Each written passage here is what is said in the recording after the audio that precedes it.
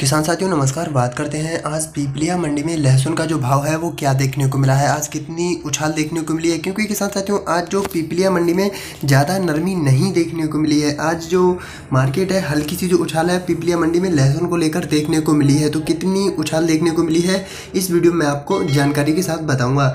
जैसे किसान साथियों, बात करते हैं सबसे पहले सुपर टॉप क्वालिटी की बोली के बारे में। उससे पहले किसान साथियों, आपसे अनुरोध है, हमारा, अगर आपने हमारे चैनल को अभी तक सब्सक्राइब नहीं किया है तो चैनल को ज़रूर सब्सक्राइब सब्सक्राइब करें और बेल आइकन को प्रेस कर दें, ताकि जब भी हम कोई भी वीडियो अपलोड करेंगे, उसका नोटिफिकेशन आपके पास ज़रूर पहुँच जाएगा।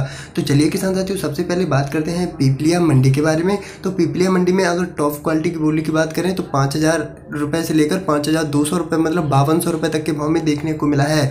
अगर वहीं पर किसान साथियों, अच्छी फूल गोला माल की बात करें तो चार से लेकर पाँच तक के भाव में जो लहसुन है, आज पीपलिया मंडी में देखने को मिला है। अगर हल्की क्वालिटी लोड की बात करें, किसान साथियों, हल्की क्वालिटी को जो लहसुन होता है, उसकी बात करें तो वो किसान साथियों पच्चीस सौ रुपये से लेकर तीन हज़ार रुपये तक के भाव में देखने को मिला है। वहीं पर किसान साथियों, अगर ऊँटी लहसुन की बात करें तो जो ऊँटी लहसुन है, आज पीपलिया मंडी में अड़तीस सौ रुपये से लेकर चार हज़ार पाँच हज़ार पचपन सौ छः हज़ार रुपये तक के भाव में देखने को मिला है। वहीं पर अगर कच्चे माल की बात करें ऑल ओवर मंडी की तो किसान साथियों, एक हज़ार रुपये से लेकर पैंतीस सौ रुपये तक के भाव में देखने को मिला है। किसान साथियों, हालाँकि एक अच्छी बात यह है, आज ज़्यादा नरमी देखने को नहीं मिली है, जो माहौल है, एक एक प्रकार से पीपलिया मंडी में सामान्य माहौल देखने को मिल रहा है। तो किसान भाइयों, ये फाइनल अपडेट थी। पीपलिया मंडी से अगर आपको हमारी दी हुई जानकारी अच्छी लगी हो तो चैनल को ज़रूर सब्सक्राइब करें बेल आइकन को तो ज़रूर ही प्रेस कर दें।